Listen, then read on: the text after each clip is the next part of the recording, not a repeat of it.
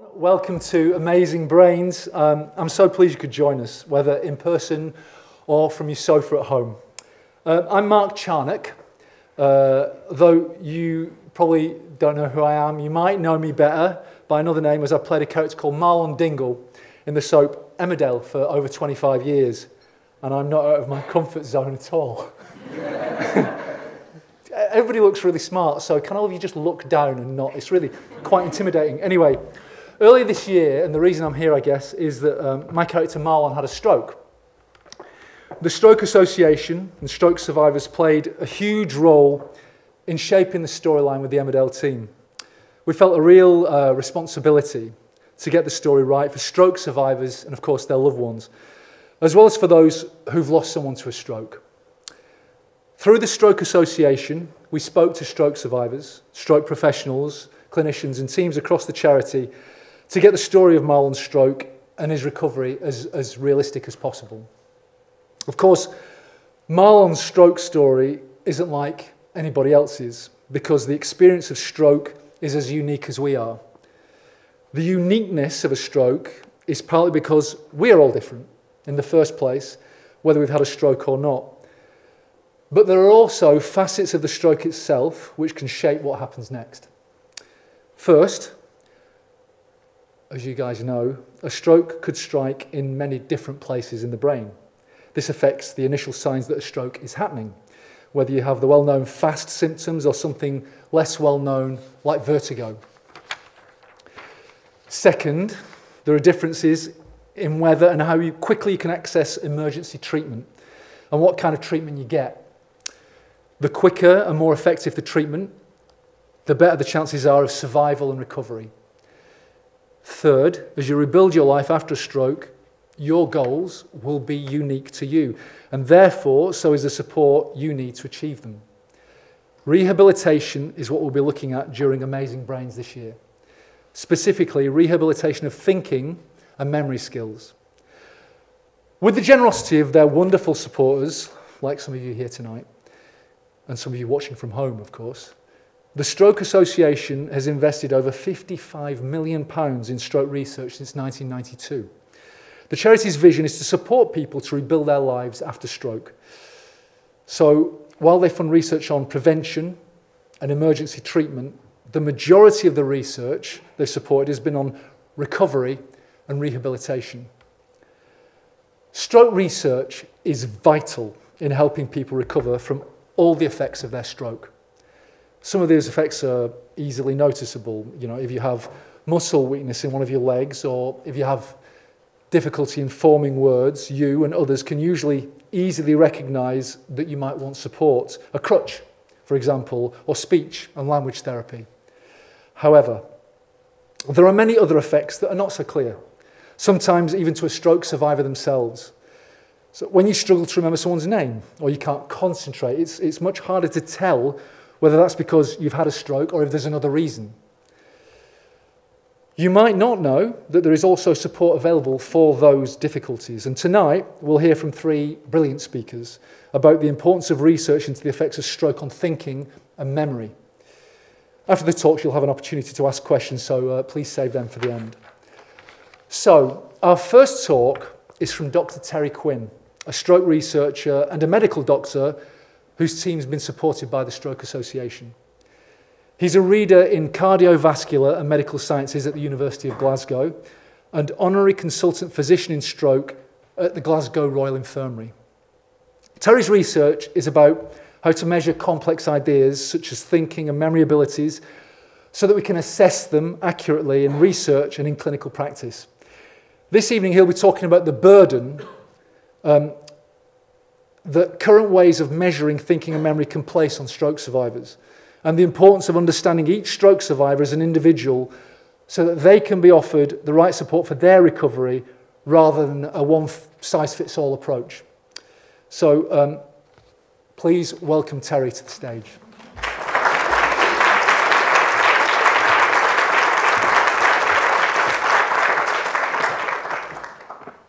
Thank you. So, thank you, Mark. Thank you, all you beautiful people here in the Crick. And thank you to the 2,500 people who've registered to watch this online. hello Matthew and Daisy, who I know are watching. so I am Terry, and I'm going to share with you a story of my research looking at the psychological effects of stroke. So tonight we're going to talk about depression and confusion. The depression and confusion that I've researched, but also the depression and confusion that I've experienced trying to navigate research in this very difficult topic. But I'm going to end with a story of hope because I think, along with many other things that research gives us, stroke research gives us hope. And, you know, we need some hope right now, we really do. So, it would be traditional for a stroke researcher on a stage like this to throw up a slide with some brain scans, some graphs, some data. So, I'm sorry to disappoint you. I'm going to show you pictures of people because I think we can sometimes get blinded by the science and we can forget stroke affects people. Stroke affects you know, people like me, maybe people like you. Definitely people like Paul, who's in the photograph here. So Paul Gribben is a member of our stroke research group in Glasgow. And I've got to know Paul really well, and he said something to me many years ago that, that really struck. He said as he recovered, people would come up to him in the street and they'd say, Paul, you're doing brilliantly you're speaking better, you're walking better, your arms moving better. And Paul would say, Yeah, all that's true, but they can't see what's going on up here. They can't see how I'm really struggling to concentrate. They can't see how incredibly tired I am all day. They can't see the fact that my confidence is absolutely shattered. And it wasn't just Paul that was telling me this. All of the stroke survivors that I was seeing in the clinic and research were telling me the same thing about these hidden effects of stroke. And so, what happens if you go to your stroke team not so long ago, if you said to your stroke doctor, you know, I'm, I'm struggling here with confusion, your stroke team would say, oh, right, well, that sounds like mental health, that should probably go to psychiatry. And the psychiatrist would say, oh, you know, that could be dementia, that should probably go to a memory clinic. And you'd go to the memory clinic and they'd say, oh, you're a bit young for us, you better go back to stroke. And people would go round and round services, not getting support, confusion, depression, and no hope. There was a real silo way of thinking. Things are changing, but they're not changing fast enough. And this isn't niche. Our group have shown that at any point in time, one in five stroke survivors have memory and thinking problems that are so severe we would call them dementia. Or if you want to look at the numbers another way, Look to your left, look to your right. One in three people will have a stroke or develop dementia or have both. This isn't niche. This is absolutely core stroke medicine. And so I'd like to say that it was because of my incredible intellect and vision that I realized that researching this was important, that, that that wouldn't be true. People told me, stroke survivors told me so here we've got photographs of some of the, the research groups that we've ran in Glasgow, where stroke survivors have told us the things that are important to them. And that shaped all of the research that I'm going to share with you tonight and all of the research that we continue to perform in Glasgow. And I was incredibly fortunate because through the support of the Stroke Association, I was able to embark on a programme of work. When you start these things, you have to have a nice abbreviation. So my abbreviation was APPLE, Assessing Post-Stroke Psychology a longitudinal evaluation. Luckily, Steve Jobs and the Beatles didn't sue me for using Apple, and we were able to get started on a program of work. And when I started this, what I realized was actually how little I knew. So I had a, a view of the world that was probably shared by a lot of stroke clinicians that people would be living their life, and then they'd have a stroke. Some people would develop problems with memory and thinking, some people wouldn't and you could very easily tell them apart. And then they'd continue along, and then maybe in the future we might have a treatment that could help people. It was a nice world view. It was simple. It really lent itself to research, but it was completely wrong. And so what we've done in the Apple program is we've deconstructed this. And we've created a new way of how we think about memory and thinking problems in clinical practice that's it is more difficult, but it's real and it reflects the messy reality of how these things really are. And so the first thing I want to talk about is this idea that everyone starts at the same baseline.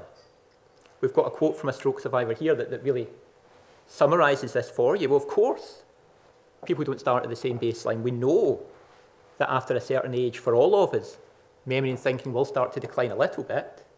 But for some people, that could be much more substantial. I promise you pictures of people. Here's a person. This is Martin. He's one of the many PhD students that was supported by the Apple programme. And, and Martin's PhD was all about the person before the stroke. How do we assess their memory? How do, they set, how do we assess their thinking? And what do we find? Well, we found that in the UK, probably 10 to 15% of people presenting with a stroke actually have dementia. But for many of them, that's never been diagnosed because they've not sought help before. The stroke is the thing that brings them to medical attention. But what we also found through Martin's work was you can find out about memory and thinking problems before the stroke using really quite simple questionnaires. And those are questionnaires that we're now trying to embed in practice. So let's move along to this idea that I had that it would be really easy with a pencil and paper test to distinguish people who did and who didn't have memory and thinking problems. And again, you've got a quote here from, from one of our stroke survivors telling you about their experience of cognitive testing. So when I started, I knew about some tests. Maybe your favourite's on the screen, maybe it's not. And then I looked at the stroke literature and stroke textbooks and I found some other tests. But then I looked at the psychiatry and the psychology literature and I found some other tests. Then I looked at the OT literature and I found some more tests. And it just seemed to be drowning in tests that were said to be the best test for looking at memory and thinking and stroke. And we had a look at this. So we looked at almost 500 papers in scientific journals that looked to measure memory and thinking in stroke survivors. 500 papers. How many different tests do you think were used? 367. So there were almost as many tests as there were research groups. Everyone was doing their own thing. There was no consistency at all. So that's, that's research. Researchers are all a bit crazy, let's be honest. Sorry, Audrey. Um, how about in practice?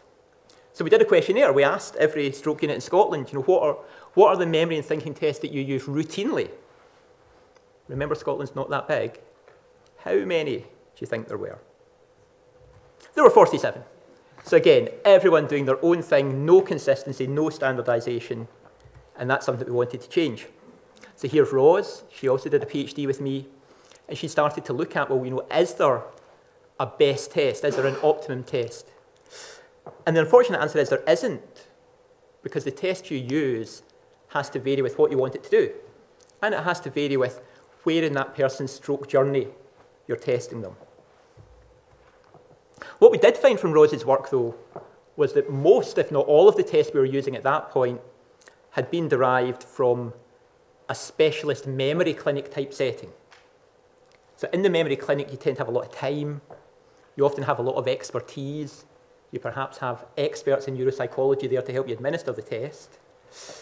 So we were taking these tests and we were using them here in the A&E of Glasgow Royal, where I've got 10 minutes at a push to make decisions on what I'm going to do. So clearly, there's a mismatch in where these tests were designed and where we were using them. Let me just illustrate that a bit more. So here we've got a test. This is the Montreal Cognitive Assessment, made famous by ex-President Donald Trump, who told the world that he scored 30 out of 30, so you can decide for yourself whether you think it's accurate. But let's say we take this test down to A&E and try and apply it to someone that, that's, that's just experienced a stroke. And you say to the person with a stroke, could you join up the dots for me? But because of that person's stroke, they're not seeing so well. And they say, well, what dots? I don't see any dots. Or you give them a pen and you say, draw a cube for me, draw a clock, and they can't. Not because of any memory and thinking problems, but because of the stroke. So you can see there's a problem here. There's a problem in trying to use these tests that were developed for other purposes in a stroke space. And that was the theme of, of Emma's PhD. So Emma started to develop much shorter tests that did retain the accuracy and that could, that could be used in a stroke setting. Now, how about this? My idea that people just tracked along. It's the thing that's probably most important to people. It's what they ask Am I going to get better? Well, we had a look at that too. So, in the Apple study, we checked memory at time points right up to 18 months after the stroke. And what we found was people tend to have different trajectories of recovery. But I think the important message is almost all people do recover to a greater or lesser extent. So we then thought, well, can we, can we predict these people? If we can predict the people who perhaps aren't going to do so well, we can target resources at them. And we did find that things like age and certain medical conditions were associated with your trajectory, but it wasn't, it wasn't an easy association. These things all interacted with each other in complex ways, and they interacted with the stroke, and they interacted with who you were before the stroke. So we had to create quite sophisticated statistical models to allow us to choose someone's trajectory, but we were able to do it. And that's where our stroke survivors challenged us again, because they said, well, you're looking at predicting the people that are going to do badly, and you're thinking about things like diabetes and heart disease. Here's what we want to know. We want to know what are the things that protect the brain. Tell us about the people that are going to do well, because those are the things that we want to do. And we're starting to look at that now, and we're finding that things like physical fitness, having a network of people, a good education all seem to protect you. And that's the work from another alumni of the Apple study, Bogna, another of my PhD students. And of Bogna's many papers, I just want to draw your attention to the middle one, which is the European guideline on how we manage people that have memory and thinking problems. So this work, supported by the Stroke Association, is changing practice right now, not just here in London or here in the UK, but right across Europe. The last thing, where again I have to admit I was wrong, was my thought that this is just about the stroke survivor. Sometimes it is, but for many people, there's a family around them, and, that family are also touched by the stroke, they're touched by the memory and thinking problems. And so one of my current PhD students is Maria, and she's interviewing caregivers of people with stroke and dementia to find out about that experience. In the photograph here, you've got all of the doctor's letters from one person, all their appointments to look after their stroke and memory problems. And, you know, the, the quote is there, why does it have to be so bloody hard? Actually, because it's East End of Glasgow, they didn't say bloody. They said something a little bit more colourful, but you get the idea. So we've went from this paradigm that was you know, easy and wrong to something that looks a bit more like this, where we're considering the person before the stroke, we're thinking about how we can maybe predict things, we're looking at different trajectories, and we're considering the family and the caregivers around the person. I've got one more researcher I want to talk about. He's very close to me. Um, so before I had this funding, I was in a situation where my contract was about to run out. I was applying for lots of fellowships and I was getting rejection after rejection after rejection. And you can see some quotes there. So clearly, there was something that they didn't like about me. It didn't quite fit what they were looking for. But I had all this ambition and I had these ideas, and I just I needed a funder to take a bit of a punt. And that's exactly what the Stroke Association did, not just with me, but actually for the people in this photograph, for, lo for lots of people in this room. They've supported these people and many others. And the people in this photograph have went on to become professors, chairs of their department, international leaders. So they've made a huge difference. And that's through your support, and it's through the support of the Stroke Association. So I'm going to end where I began with Paul. And one time when I was interviewing Paul, I said to him, Now, Paul, you've helped with lots of my studies now. Is there anything that you regret at all? He said, You know, Terry, there is, there is one thing that I regret. I regret when the studies come to an end. And that's what we now face. You know, if you don't continue doing what you're doing, if you don't continue supporting the Stroke Association, the research will come to an end. And my time is coming to an end. I see the sign is being held up to tell me to hurry up. so I'm going to stop speaking there. Thank you for listening.